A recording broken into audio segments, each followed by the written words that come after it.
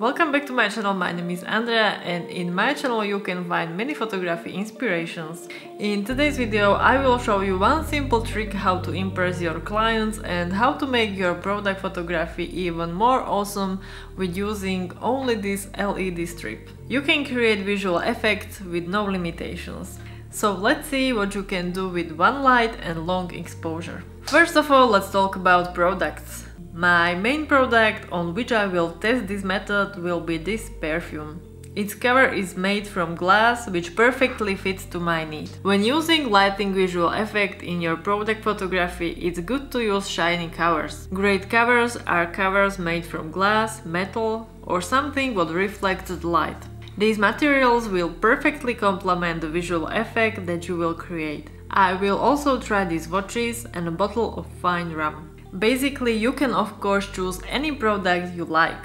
Choosing reflecting materials is just my suggestion. Now let's talk about room and place where you are going to make your photoshoot. You are absolutely right when you suggest dark room. You don't have to wait until evening, but you need to darken the windows. There is no need of total darkness in the room, but let's avoid harsh or direct sunlight and make your scene as dark as possible. If you are shooting during the day, you will probably need variable ND filter like this one.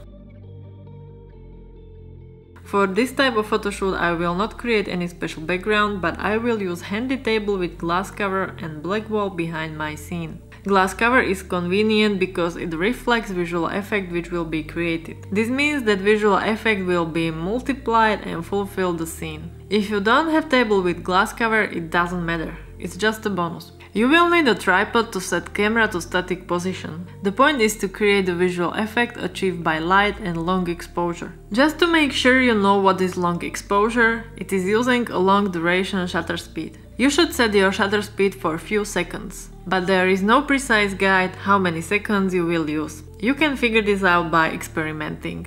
I will show you my parameters. I set the ISO to 100, iris to 3.5 and shutter speed for 10 seconds. This worked for me great. You will create the visual effect very easy by moving light, in this case LED strip, and move it on your scene. I have my LED strip connected to the external battery source, so I don't need socket around the table. Long exposure captures the light and now it's just up to you what shapes will you create.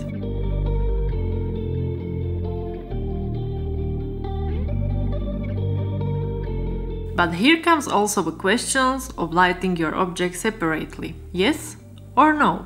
I think it might be a good idea because you want your object to stand out from the scene. So you can use some extra light. However, this step is completely up to you and on the most of my photos I didn't use extra light. If you are just starting to experiment with this method, I suggest you to start with basic shapes or basic movements. Here belongs basic movements like pendulum, movement from front to back or from back to front, circles and swirls. Maybe this will take some time, but keep experimenting with the movements and discover which suits your product best.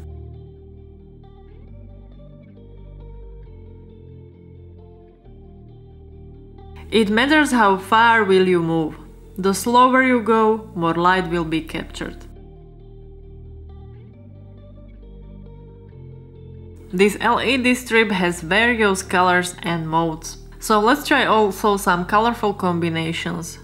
Put LED to your scene, change color and lift it away. And this should happen in a few seconds.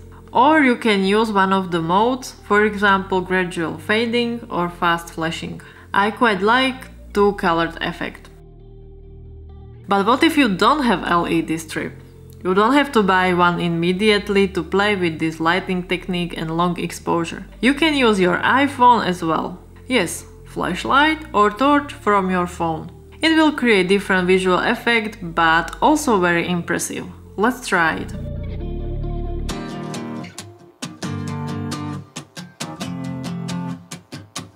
Now it's time for you to take a camera and try this technique if you like it. Take any product you have at home and experiment with setting. Except great photos, you will have a lot of fun during photoshoot. You can apply this technique also on portrait photography. Imagination has no boundaries. For now, take care and see you in the next video.